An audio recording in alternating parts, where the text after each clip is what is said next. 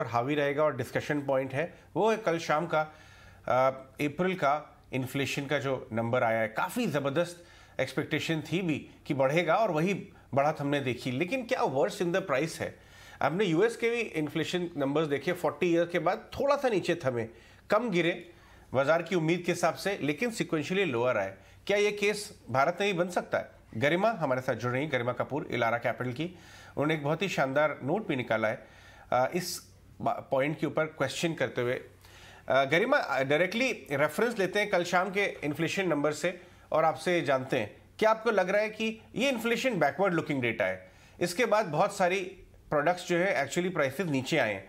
तो आगे आने वाले महीने में जब इन्फ्लेशन देखेंगे तो हम गिरावट देखेंगे क्या? क्योंकि बाज़ार उसी पर फोकस करेगा। राइट ये जो नंबर था कल का, वो एक्चुअली प्राइस दिन था काफ़ी। मार्केट का एक्सपेक्टेशन था 740 750 के करीब।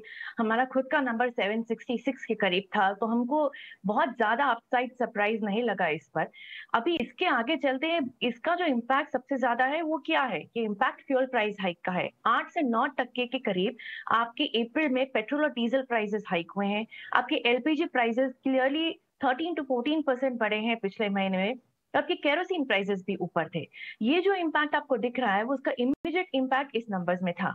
उसके अलावा आपके जो फ़ूड प्राइसेस थे बिकॉज़ ग्लोबल मार्केट बहुत ही ज़्यादा टाइट है फ़िलहाल वीट के प्राइसेस बार्ली मेज एंड इन सब कमोडिटी प्राइस जिसमें ग्लोबल शॉर्टेजेस है, उसका डोमेस्टिक प्राइसेस में भी इम्पैक्ट दिख रहा है।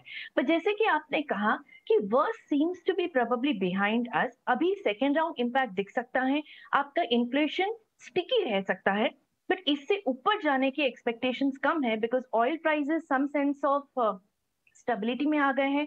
ग्लोबल डिमांड पे काफ़ी ज़्यादा क्वेश्चन आ रहे हैं। कल भी आपने सुना होगा कि ओपेक ने global oil demand forecast cut किया। अगर आप लीड इंडिकेटर्स देखें in terms of global demand आप ऑयल छोड़ के कॉपर प्राइसेस देखिए। That is the best indicator क्योंकि वहाँ पे डिमांड और सप्लाई का जो पैटर्न है, वो इतना ज़्यादा टाइट नहीं है जितना ऑयल मार्केट में है। अब कॉपर प्राइसेस गिर रहे हैं मिड अप्रैल से लेकर। Increasingly global slow down incorporate हो रहा है एक्सपेक्टेशंस में, जिसके चलते प्रोबेबली जैसे कि जैसे हम second half current financial year में जाएँगे एक्सपेक्टेशंस हैं कि ग्लोबल कमोडिटी प्राइजेस फ्लैटर हो जाएँगे। इसलिए एंड इसके बाद भी जून से लेकर आपको बेस इफ़ेक्ट का भी बेनिफिट मिलेगा। इसलिए मुझे लगता है इससे ज़्यादा वर्सनिंग होना मुश्किल है स्टिकीनेस रह सकता है but directionally from the third quarter of the current financial year we should start to see material slowdown, both globally as well as in India. Garima absolutely good morning you right copper prices की अगर बात करें 9000 dollar पर ton यहाँ पर decrease down trend drops आते हुए देखने को मिले हैं। लेकिन इस बीच इन्फ्लेशन डेटा ऑफ़ कोर्स अब आप यहाँ से कह रहे हैं कि पॉजिटिविटी आने वाले महीनों में देखने को मिल सकती है। लेकिन ये जो नंबर आता हुआ दिखा है आरबीआई के इन्फ्लेशन टारगेट से ये ज़्यादा है। Straight away fourth straight month. ये इन्फ्लेशन टारगेट जो आरबीआई ने बनाए थे, उनसे ज़्यादा है। अनस्केड्यूल्ड रेपो रेट हाइक अभी अभी हमने देखे और any price hike any inflation rate hike of about six percent सीधे तौर पर आगे और इंटरेस्ट रेट बढ़ने के अनुमान नज़र आते हैं। तो इंटरेस्ट रेट के लिहाज से वैसे भी आरबीआई ने सेंटिमेंट अनुमान दिए ही थे। क्या लगता है आगे, क्या कुछ होगा? देखिए, जब आरबीआई ने ऑफ़ मीटिंग हाइक की फोर्थ मे को उनके पास एस्टिमेट थे, उनके इस, इसलिए वो अप्रैल मंथ खत्म होने तक रुके। उनको जब पता चल गया होगा कि the expectation of May is going to be significantly higher तो क्लियरली उन्होंने डिसाइड किया ऑफ़ पॉलिसी उसके बाद भी कुछ सोर्सेज में मार्केट ने इंडिकेट किया है कि one of the reason RBI ने ऑफ़ पॉलिसी हाइक किया था, क्योंकि उनको जंबो हाइक नहीं करना था जून में। लेकिन कल के प्रिंट के बाद, मुझे लगता है जून अगस्त और सितंबर, क्योंकि इस टाइम पॉलिसी अक्टूबर में नहीं, सितंबर एंड में आ रही है। तीन कॉन्जिक्यूटिव पॉलिसीज़ में आपको हाइक दिख सकता है। विद द पॉसिबिलिटी कि जून की जो पॉलिसी है, आपको 35 टू 40 बेसिस पॉइंट हाइक लिख सकता है अलॉन्ग विद सीआरआर या 25 बेसिस पॉइंट विद सीआरआर एक सीआरआर हाइक 150 बेसिस का ऑलरेडी हो चुका है।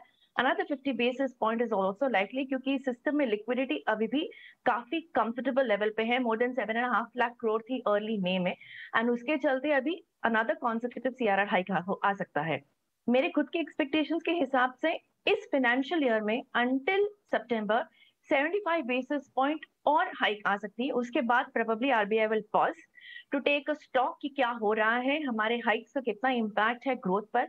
बिकॉज़ ये इन्फ्लेशन जो है, अधिकतर इन्फ्लेशन सप्लाई साइड है डिमांड साइड नहीं।